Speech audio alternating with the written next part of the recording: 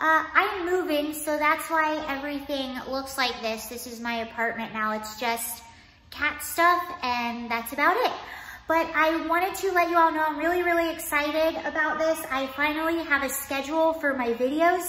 I haven't had a schedule. I've just been putting them out whenever. I've just been doing the live streams whenever, and I've sort of been announcing them either the day before or the day of.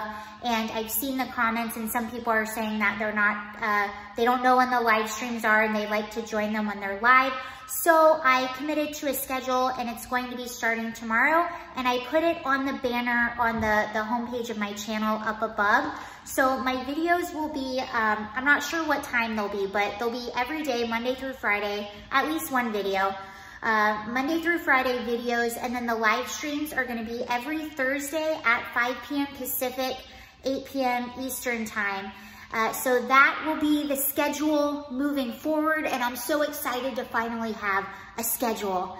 Uh, and the live streams, if you haven't been to them, they're a lot more fun when they're live.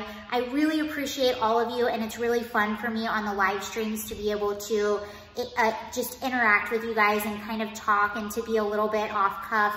We have broken out the bongos, we've broken out the ukulele, there's been some rapping and character voices, and we've talked about just about, I, we've talked about a lot of things so far. So I really, really like them, and I, I hope now that I have the schedule up that you know when it is and you can come when you're able to come. And I would love to see you there. I'm excited to see you guys a lot more and actually have a schedule and um, start taking ourselves seriously here. Uh, but anyway, that's that's that. That's a little update. I wanted to let you know I'm working on a video for tomorrow. And then just, I don't know if you saw what was happening today, but while we're here, while we're talking, uh, Biden hasn't gone to the border this whole time. We have this crazy uh, surge that's happening on the border. It's the biggest surge in 20 years. We have what, like 13,000 kids in these facilities right now. By the way, where is AOC? I haven't seen her going to any of these facilities, doing photo ops, or calling them what it, whatever she called them, the, the concentration or whatever she did, yet she never actually reported it. Uh, so you would think if you saw something like that, you would report whatever.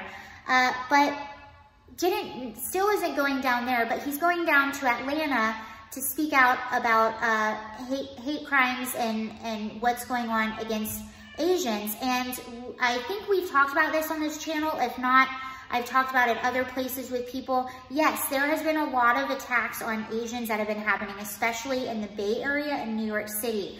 And what happened in Atlanta is really very, very tragic and really sad.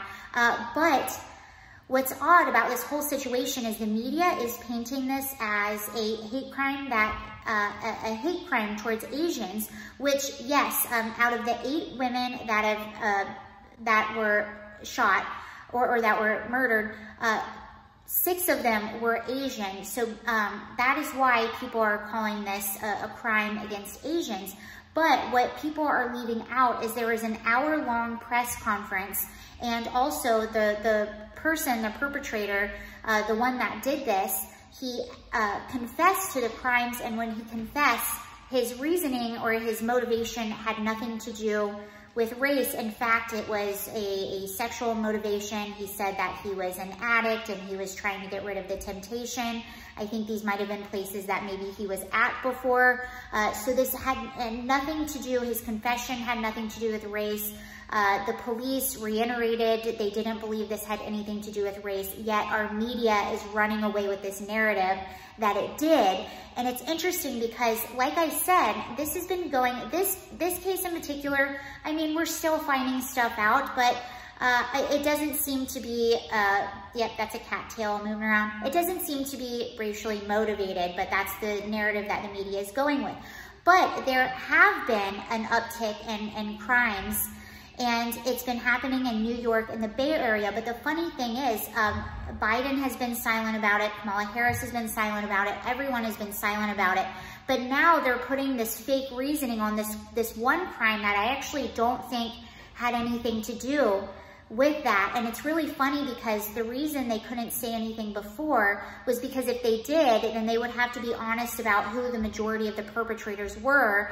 And if they were honest about who the majority of the perpetrators were, then they would have to be uh, then that would go against one of their main narratives. And that's what's happening in Atlanta. If they're if they ignore this or if they're honest about the reality of what happened, then that goes against their narrative. So they're latching onto this false, you see, you see what's happening? All the fake narratives are starting to contradict each other and we're just living in, they're, it's almost like they're creating this fake reality for us. It's bizarre. Uh, but yeah, apparently uh, Biden and Kamala Harris are going to Atlanta tomorrow to talk about uh, crimes against Asians, even though we're uh, the police in the area and the person that committed this, this heinous crime uh, said that this had nothing to do with race. In fact, it had to do with, with an addiction of his that had nothing to do. And this appears to be a very, very mentally ill